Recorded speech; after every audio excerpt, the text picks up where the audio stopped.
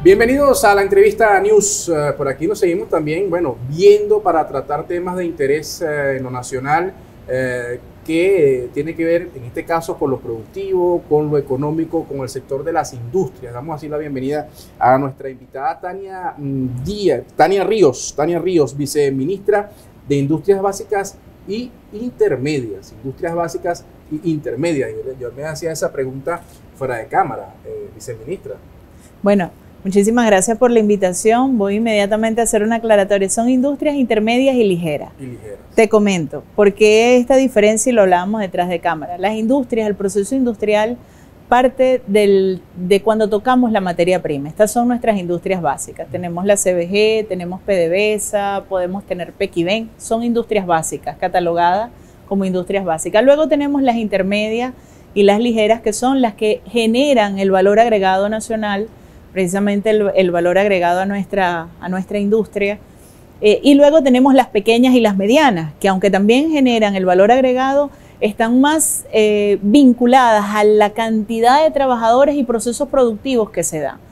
En el caso del viceministerio, del cual tengo la responsabilidad, que la patria me ha dado la responsabilidad de estar allí, son las industrias que nos, que nos permiten hacer precisamente la transformación de estas materias primas y darles el valor agregado nacional. Importante. Eh, hablamos sobre todo, y ya vamos a hablar de esta rueda de negocios eh, que se inicia próximamente, eh, una especie de cambio de paradigma. Y les pregunto si es así de un sector privado que venía de, digamos, depender siempre de este, del Estado venezolano, de una, de una cultura rentista, del petróleo, y ahí parecía ese siempre debate, ¿no? ¿Cuánto divisa me da el Estado para que parece mentira, el empresario invirtiera eh, y bueno, ahí sacara parte de ese dividendo. ¿Cómo ha sido ese cambio de paradigma en un momento, digamos, bien complejo de sanciones, donde venimos además de esta pandemia? Michelle, lo, conversábamos y el ministro lo dejaba en claro esta mañana. Nosotros hoy participamos, el Ministerio de Industria, en, la inauguración de lo que es la feria eh, productiva de, Fede, de Fedindustria eh, que de alguna manera este, agrupa varias de, las, de los impulsores. El ministro Hipólito lo dejaba claro esta mañana. Fíjate, Venezuela viene de una política rentista, una política no decidida, sobre todo por ellos, sino asumida sí por el sistema mundo capital, donde todo estaba vinculado al aprovechamiento de las materias primas y a que esas materias primas salieran de nuestro territorio nacional, alguien más le diera el valor agregado y luego nosotros lo compráramos como consumo. Caso petróleo, gasolina, para ponerlo como un ejemplo. Pero te puedo hablar del hierro, te puedo hablar del aluminio, te puedo hablar de, de los polímeros, te puedo hablar de estas materias primas que salían y eran transformadas por otro. En Venezuela, la mayor parte de la industria que se instaló es una industria que efectivamente incluso tildaba más de ser contaminante, que no le convenía a otros países hacer el proceso de transformación primaria en otra parte que no fuera en Venezuela. ¿Qué pasa hoy? Hoy Venezuela se está planteando un desarrollo industrial distinto, desarrollo industrial donde el empresario de alguna manera toma conciencia de que patriotamente le importa su país, ¿no? Y prefiere dejar el sudor de, su esfuerzo y de su trabajo en el país, ese, ese, patriota, ese industrial patriota privado y por supuesto el público, y, se, y hace un repensar de la industria. Y esta industria entonces tiene que ver con pensar la máquina que hace la máquina.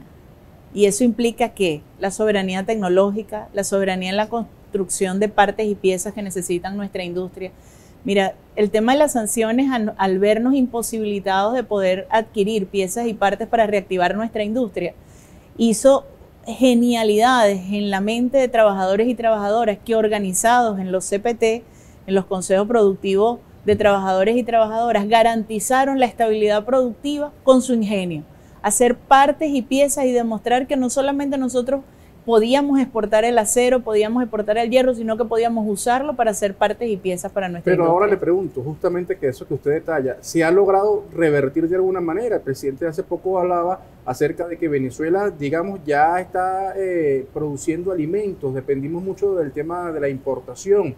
En este momento, en torno a ese específico, eh, digamos, elemento de la economía que sin duda la motoriza, podemos decir que ya ha habido un, cambio de, esa, de, poder producir o desarrollar esa, eh, esa materia prima que se hace acá en Venezuela. Sí, completamente. Sin duda alguna te puedo decir que en este momento Venezuela está apostando a la producción nacional, está apostando eh, a la orgánica nacional productiva. Y de ahí tiene que ver la rueda de negocio que mencionaste. Nosotros estamos promoviendo, nosotros, Ministerio de Comercio y en la industria nacional, estamos promoviendo un gran encuentro, una gran rueda de negocio en agosto, 11, 12 y 13 de agosto, para encontrarnos. Porque parte de lo que ocurrió con las sanciones, con el tema del COVID, con todo lo que vivimos, es que el entretejido industrial, por así decirlo, se desvinculó. El industrial perdió quién le prevé la materia prima y a quién comercializar su producto final. Entonces, nos hemos venido vinculando. Y para que esta orgánica tenga una fuerza, sea una masa de fuerza, la masa industrial, tenemos que encontrarnos en una plataforma para poder avanzar. Y esta es la rueda de negocios. Sí, ha habido un cambio, ha habido un cambio de conciencia productiva, ha habido un cambio de conciencia nacional y hemos venido apostando. ¿Qué pasa ahora?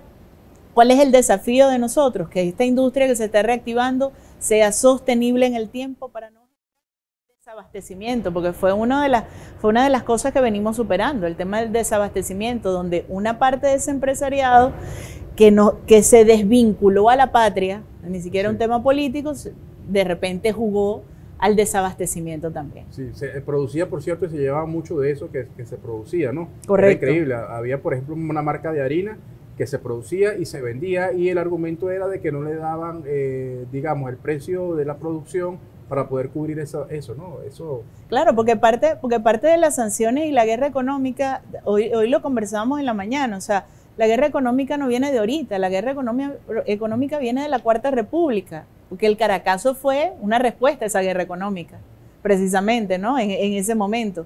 Y nosotros venimos sorteando, el pueblo venezolano, venimos resistiendo progresivamente a, a todos los embates precisamente del imperio que en este caso sigue acechando. Pero el, venezolano no solamente es ingenioso, sino que tiene una, una, fuerza vital de lucha importante y esa fuerza vital la conseguimos en la industria. No importa cuántos apátridas estén, los que estamos con la patria y amamos más el trabajo y la patria, somos muchos más. ¿Cuáles son esos sectores que ya han venido, digamos, recuperándose eh, a partir de, esta evaluación que ustedes hacen eh, de materia productiva, de industrias eh, intermedias y ligeras? Correcto. Que corresponde a su área. Mira, tenemos importantes avances en el sector pulpa, papel y cartón. Ahí nosotros tenemos, por ejemplo, el ejemplo de, de cartones de Venezuela, queremos invitarlos a que hagan eh, una, un documental de cartones de Venezuela. Hemos avanzado muchísimo, en, no solamente en la reactivación de la industria, sino en, repensar el tema de la economía circular con el reciclaje, con el uso de reciclaje. Tenemos la industria del vidrio. Nosotros tenemos aquí eh, el tema del vidrio ha sido fundamental. En este momento estamos pasando por, digamos, por, por un tema de repensar el mercado del vidrio, porque sabes, el, sector de empaque, que es cartón, eh, plástico y vidrio, de repente tienen que encontrarse para poder revisar el tema del mercado, porque ya pasamos la fase de reactivación, ahora viene la fase, la fase de comercialización, que es donde encontramos la sostenibilidad. Tenemos el sector, el subsector del cemento, que es parte del sector de la construcción, también una industria que viene con, con grandes este, con grandes avances. Y este año el ministro Hipólito y el ministro Ramón Velázquez y conjunto con el presidente Nicolás Maduro han dado un impulso enorme al sector automotriz con los vehículos iraníes, que ahora vamos por, ya no solamente por traer el vehículo iraní, este, digamos en CBU se llama, que es el llave en mano, sino que además queremos traer las partes y piezas que se llaman SKD, este, para poderlos ensamblar en Venezuela. Entonces ya pasamos, digamos, del resistir al avance, a la ofensiva, ya, ya podemos decirlo ya. Correctamente, estamos en la ofensiva productiva. La ofensiva productiva. Eh, ¿Qué vamos a poder observar en esta rueda de negocios? ¿Qué empresas van a estar allí eh, representadas? Bueno, ahí vamos a estar varias de las empresas, las industrias tanto básicas como las industrias, todas las industrias intermedias del Estado venezolano.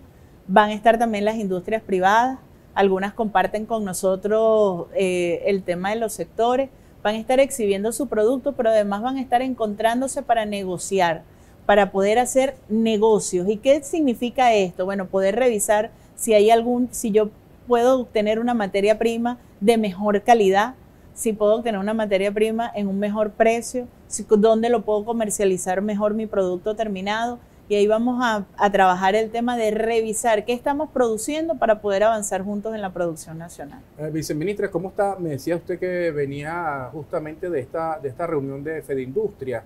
Eh, conversamos también con ellos eh, recientemente el diálogo entre el sector privado empresarial y, el gobierno nacional. Es decir, eh, eso, eso ha venido fluyendo. ¿Cómo, ¿Qué nos puede decir? Sí, nosotros hemos hecho, creo que, creo que todos los sectores hemos hecho un gran esfuerzo por encontrarnos, porque reconocemos que parte de este asedio, eh, de, esta guerra, tiene que ver, uno de sus objetivos era dividirnos, dividirnos como, como venezolanos. Y eh, una de las cosas que hemos venido haciendo ha sido encontrarnos en nuestros puntos comunes. Y nuestros puntos comunes es recuperar la industria del país, es desarrollar Venezuela. No es posible un desarrollo económico sin un desarrollo de la industria. Que, hoy, por cierto, eh, hablando de ese debate de algunos sectores de políticos de, extrema derecha, que por cierto dice, bueno, si ellos dicen, si yo llego al gobierno, ya, bueno, levantan las sanciones al día siguiente, con lo que además, por cierto, eh, confiesan que las sanciones son políticas y que no, además nos afectan a todos los venezolanos. Pero en esa misma medida hay actores políticos opositores que dicen, no, aquí hay que privatizar las empresas, por ejemplo, las empresas básicas del Estado.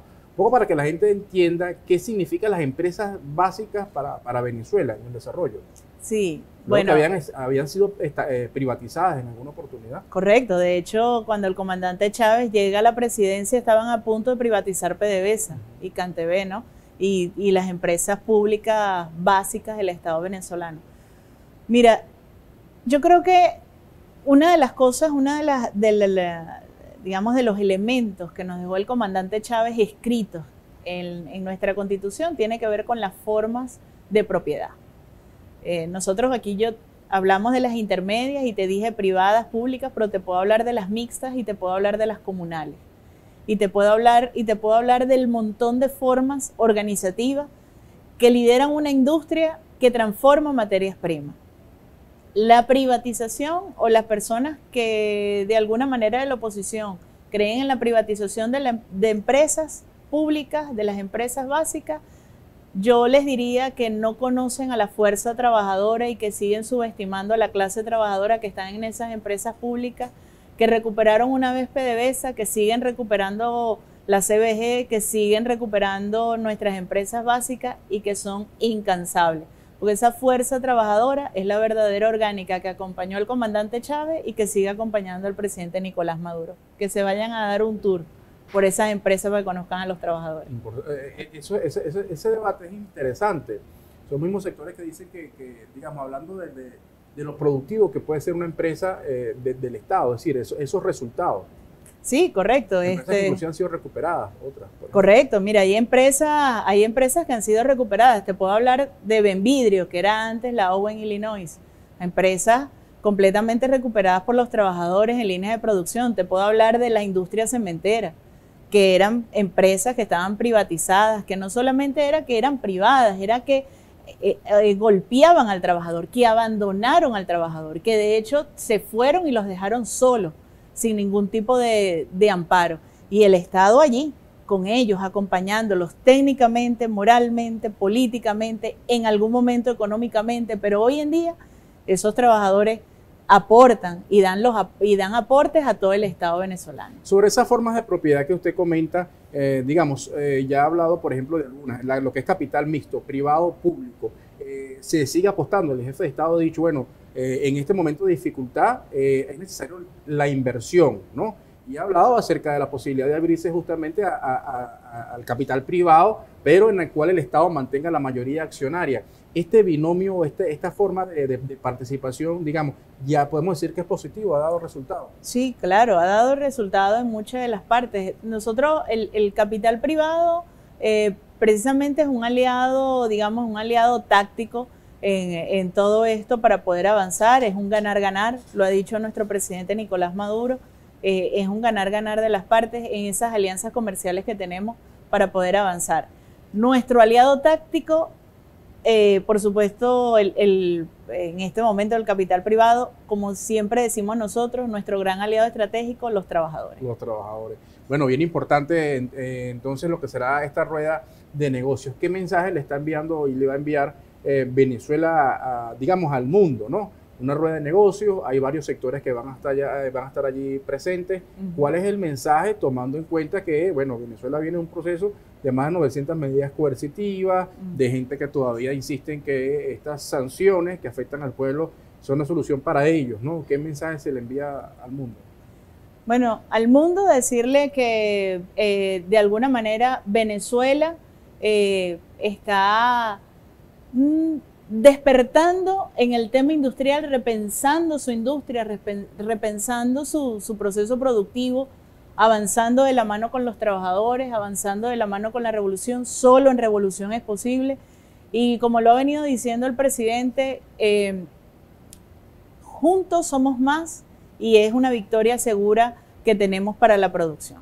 Bueno, excelente, viceministra. Muchísimas gracias. Viceministra Tania Ríos, viceministra de Industrias Básicas, Intermedias y Ligeras.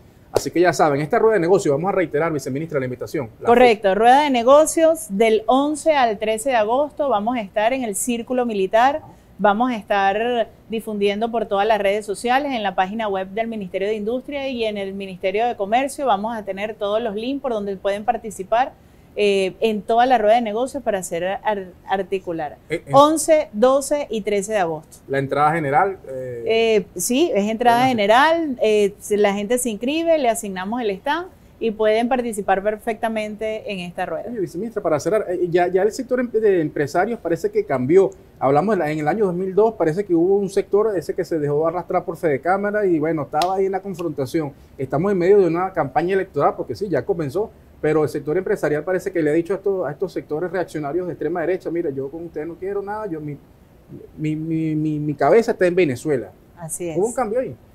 Hubo un cambio, hubo un cambio hermoso, un cambio hermoso que solamente, que solamente lo hace a quienes nos mueve el amor y la pasión por la patria. Bueno, bueno, nos vemos y nos seguimos escuchando. La viceministra Tania Ríos, viceministra de Industrias Básicas, Intermedias y Ligeras. Será hasta una próxima oportunidad por acá, por la entrevista News.